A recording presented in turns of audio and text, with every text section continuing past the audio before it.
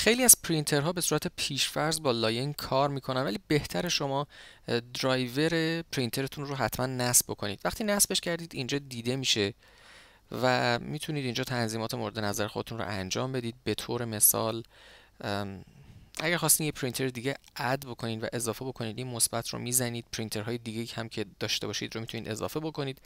همونطور که گفتم اگر البته فعال باشن و وصل باشن اصلا دیده میشن اینجا ممکنه یه همچین کاری هم نیاز نداشته باشید بکنید.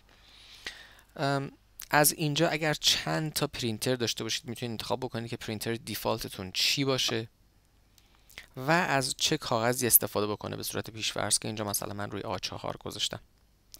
یه نکته اینجا داره که نوشته share this printer on the network اگر من این رو بزنم و sharing preferences رو باز بکنم که البته خودش هم باید این کار رو انجام بده. می‌زنه printer sharing الان کامپیوترهای دیگه ای هم که با این کامپیوتر شبکه باشن از طریق پرینتر این سیستم می‌تونن پرینت بفرستن. این برای لپتاپ هایی مثل Air یا برای زمانی که شما می‌خواین از طریق آیفون یا iPad پرینت بفرستید خیلی گزینه حیاتی هستش به دلیل اینکه جور دیگه ای نمیشه این کار رو انجام داد.